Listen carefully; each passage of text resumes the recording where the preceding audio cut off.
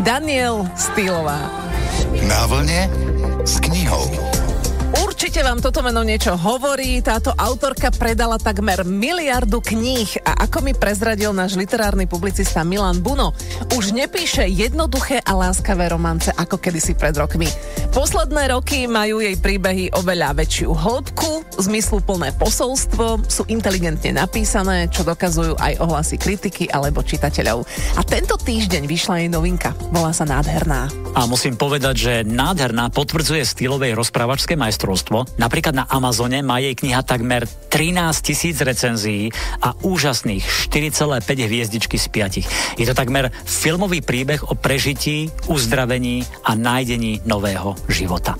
O čom teda je? Hlavná hrdinka Veronik je hviezda modného móla a ako 22-ročná patrí medzi najžiadanejšie modelky. Žiari na obálkach časopisov, túžia po nej mnohí návrhári a ona je síce profíčka, ale netúži po pozlátku a megalomanstve, ktoré modeling prináša. Radšej trávi čas doma alebo so svojím priateľom. Práve má za sebou Parížsky týždeň módy, pred ňou je fotenie na obálku Vogue v japonskom Tokiu, ale teraz má trošku času pre seba. Chce aspoň na okamih uniknúť z bláznivého sveta módy, ale tragický výbuch na letisku Brusel Zaventem jej navždy zmení život teroristický atentát pobúri celý svet. Veronik skončí na celé mesiace v nemocnici.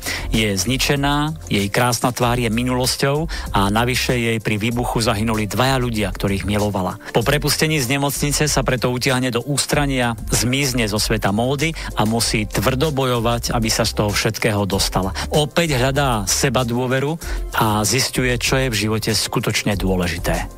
Posledná vôľa a list, ktoré jej zanechala mama, však odhalí dávne tajomstvo, o ktorom dosiaľ netušila.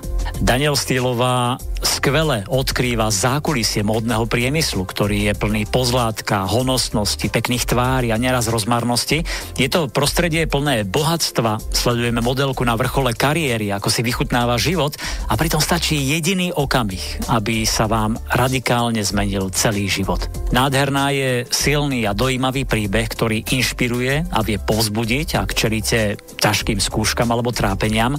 Rozpráva o tom, ako úprimne prijať sami seba takých, akí sme a odvážne čeliť životu, ktorý sa nemusí vždy uberať smerom, ktorý ste si predstavovali alebo vysnívali. To je ale zmena. Daniel Stýlová a jej nádherná ako najnovšia knižná novinka aj u nás na našom webe Radio Volna.sk.